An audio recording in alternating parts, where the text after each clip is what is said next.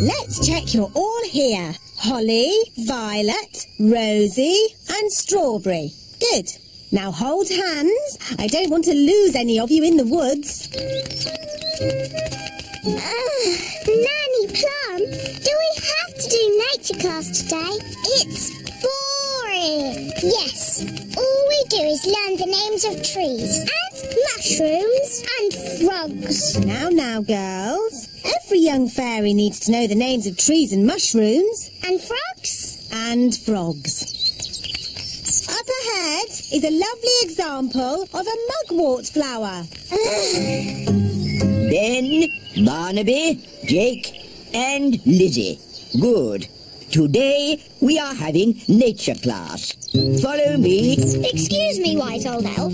Why do we have to do nature class? because, Ben, it's important that every young elf learns about nature. Who can tell me what this is? Um, uh, uh, is it a sort of plant? A wilted thistle is the correct answer. Oh, Now, what's the name of this flower? Oh, we seem to have walked into some elves. Good day, Nanny Plum. Hello, wise old elf. Hi, Ben. Hi, Holly. We're doing nature class. So are we. Let's team up. Yes.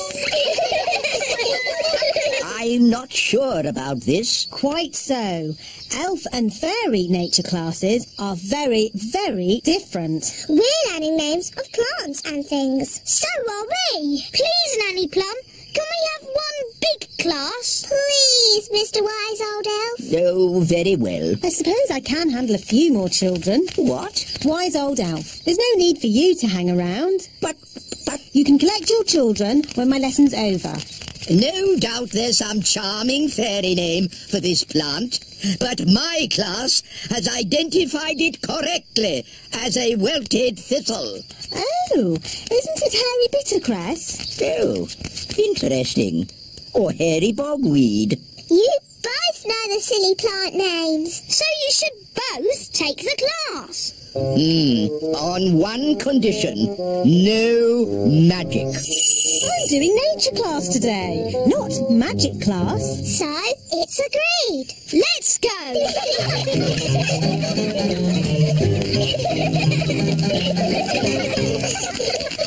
Look, Ah, an acorn. Now, what does an acorn grow into? Is the answer an oak tree? I was asking the children. Yes, yes, but an oak tree is the right answer. What the wise old elf is trying to say is that this little acorn will grow into a huge oak tree. Ooh, cool. Can we see it grow now? Oh, it will take years and years to grow into a tree. Uh-huh. We could give it some magical help. Nanny Plum, we agreed. No magic. But look at the children's sad little faces. They'd so like to see the acorn grow into a tree. No. Please, Nanny Plum, make the acorn grow into a tree. Yes, please, Nanny Plum. I'd love to, but it's up to the wise old elf. Please, wise old elf. Oh, very well. I'll just do a little spell. Back, children. Just a small tree, please. Yes, yes.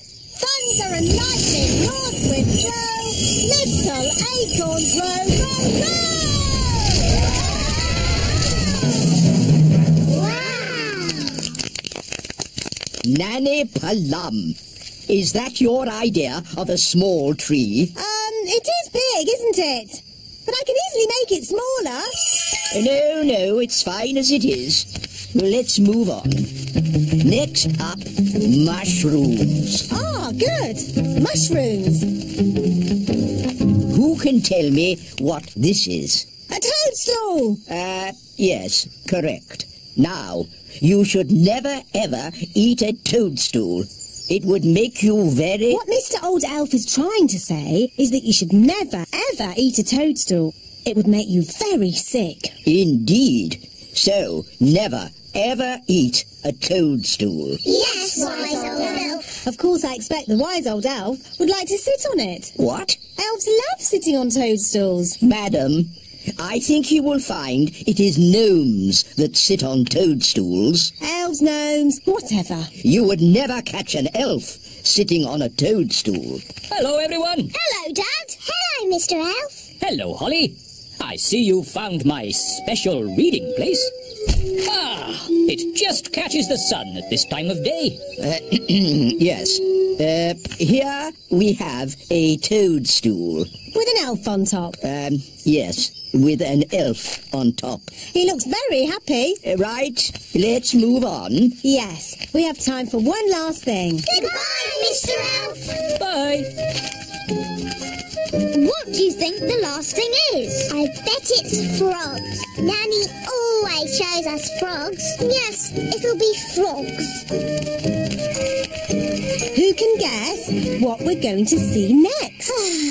frogs. Yes, we're going to look at frogs. Um, uh, there aren't any frogs here.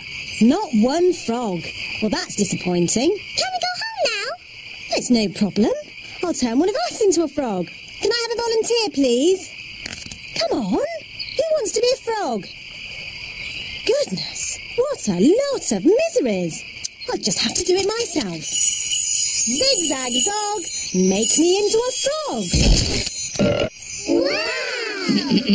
A common frog. Look how slimy it is. And how smelly it is. oh, stinky whippy poo! And how silly it sounds.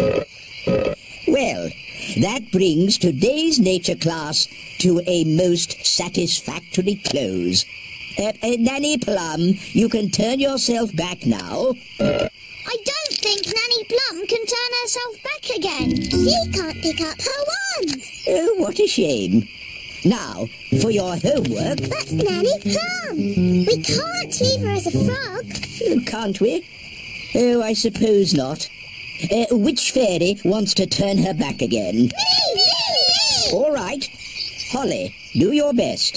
Um, I'm not sure what spell to use. I'm sure Nanny Plum would want you to just have a go anyway. Okay, I'll try this. Abracadabra. Um, Frogtafairy. Oh, it works. Oh, thank you, Holly. Oops. Sorry, Nanny. You did very well, Holly. But you shook your wand a bit too hard. Abracadabra, frog to fairy. You see, children, it's all in the wand's control. Yes, Nanny Plum. Fascinating, Mistress Plum. But if we might return to nature class for a... Yes, children, what Mr. Old Elf is trying to say is that That brings today's nature class to a close. That was the bestest ever nature class. Thank you, Strawberry. It was excellently cool. Thank you, Barnaby. So, from now on, Nanny Plum and the wise old elf always teach us nature class together. Uh, all right. oh, if you insist.